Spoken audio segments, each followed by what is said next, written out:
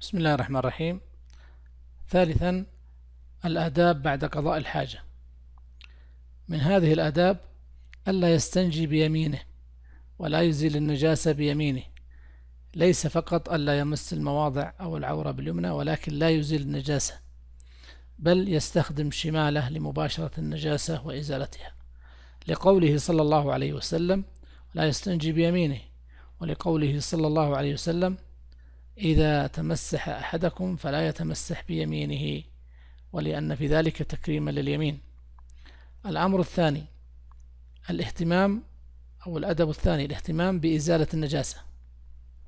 بعد الفراغ من قضاء الحاجة ينبغي الاهتمام بإزالة النجاسة تماما لأن ذلك آه، فيه خطورة. وقد حذر النبي صلى الله عليه وسلم من التساهل في التطهر من النجاسة من البول.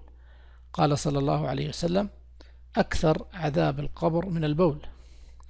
وعن ابن عباس رضي الله عنهما قال مر رسول الله صلى الله عليه وسلم على قبرين فقال إنهما ليعذبان وما يعذبان في كبير. أما أحدهما فكان لا يستبرئ من البول. فهذا دليل على الخطورة في عدم الاستبراء من النجاسة والتطهر من النجاسة. الأدب الآخر أن يؤتر بثلاث مسحات أو أكثر وأن يكون مسح النجاسة ثلاثا فما فوق وأن يكون وترا وذلك حسب ما تدعو إليه الحاجة. فمن لم تكفي فمن لم تكفه ثلاث مسحات فخمس أو سبع أو تسع وهكذا. لحديث عائشة أن النبي صلى الله عليه وسلم كان يغسل مقعدته ثلاثا قال ابن عمر فعلناه فوجدناه دواء وطهورا. ولما روى أبو هريرة رضي الله عنه عن النبي صلى الله عليه وسلم قال إذا استجمر أحدكم فليستجمر وترا. من أداب قضاء الحاجة البعدية ألا يستجمر بروث أو عظم. والاستجمار هو إزالة النجاسة بالمسح. والاستنجاء إزالة النجاسة بالغسل ولا يستعمل العظم ولا الروث للاستجمار وإنما يستعمل الحجارة والمناديل ونحو ذلك. لما جاء عن أبي هريرة رضي الله عنه أنه كان يحمل مع النبي صلى الله عليه وسلم إداوة لوضوئه وحاجته فبينما هو يتبعه بها فقال من هذا؟ قال أنا أبو هريرة. قال أبغني أحجارا أستجمر بها ولا تأتيني بعظم ولا بروثة فأتيته بأحجار أحملها في طرف ثوبي حتى إذا وضعتها بجنبه ثم انصرفت حتى إذا فرغ مشيت. فقلت ما بال العظم والروثة؟ قال هما من طعام الجن. من الأداب تقديم رجلها اليمنى عند الخروج. من الأداب البعدية تقديم رجله اليمنى عند الخروج. ويقول عند خروجه غفرانك بمعنى أسألك المغفرة.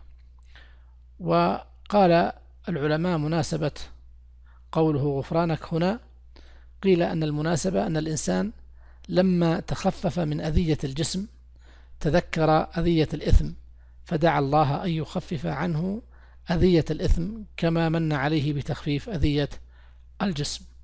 وقال بعضهم إنه يسأل الله غفرانه لأنه انحبس عن ذكره في مكان الخلاء فيسأل الله المغفرة له في ذلك الوقت الذي لم يذكر الله فيه. ثم يقول الحمد لله الذي أذهب عني الأذى وعافاني. قوله الأذى أي ما يؤذي من البول والغائط. وقوله عافاني أي من انحباسهما المؤدي إلى المرض أو الهلاك. هناك مسائل في الاستنجاء والاستجمار. المسألة الأولى في بيان معنى الاستنجاء والاستجمار. الاستنجاء هو من النجو نجوت الشجرة إذا قطعتها فكأنه بالإستنجاء قطع الأذى وفي الاصطلاح الشرعي إزالة أثر الخارج من السبيلين بالماء. والاستجمار في اللغة استفعال من الجمار وهي الحجارة الصغيرة. وفي الاصطلاح إزالة أثر الخارج من السبيلين بالحجارة ونحوها من المناديل والقماش وغير ذلك من الأوراق التي هي طاهرة ومطهرة. المسألة الثانية في الاستنجاء والاستجمار حكم الاستنجاء والاستجمار الخارج من السبيلين. الخارج من السبيلين ينقسم إلى ثلاثة أقسام. القسم الأول قسم يوجب الاستنجاء والاستجمار وهو الخارج المعتاد من السبيلين كالبول أو المذي أو الغائط. قال تعالى والرجز فاهجر فهذه الآية عامة في المكان والثوب والبدن. لحديث أنس بن مالك أن النبي صلى الله عليه وسلم قال كان يأتي الخلاء. قال أنس فأحمل أنا وغلام معي إداوة من ماء وعنزة فيستنجي بالماء. وحديث عبد الله بن مسعود رضي الله عنه أن النبي صلى الله عليه وسلم قال له لما أراد الخلاء ائتني بثلاثة أحجار. وأمر بها عليه الصلاة والسلام ثم علل ذلك الأمر بقوله فإنها تجزيه. وهذا التعليل دال على على الوجوب كما قرر ذلك ابن قدامة رحمه الله لأن التعبير بهذه الصيغة مشعر باللزوم والوجوب. الثاني القسم الثاني قسم لا يوجب الاستنجاء والاستجمار وهذا بالاتفاق وهو القائم من نوم أو من خرجت منه ريح. القائم من نوم أو من خرجت منه ريح لا يجب عليه الاستنجاء ولا يجب عليه الاستجمار.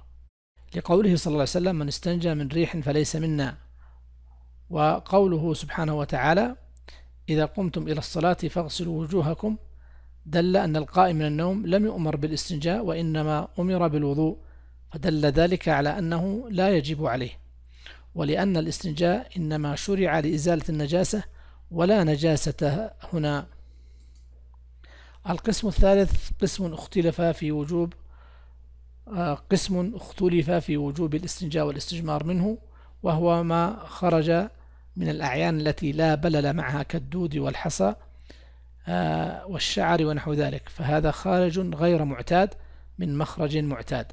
الخارج الغير معتاد اللي هو الحصى والشعر والدود ومن مخرج معتاد اللي هو القبل أو الدبر.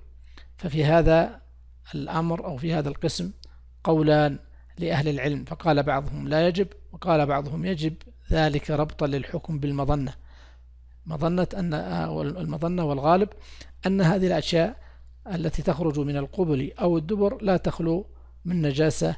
قال ابن عثيمين وهذا هو الأحوط أنه يجب لها الاستنجاء والاستجمار.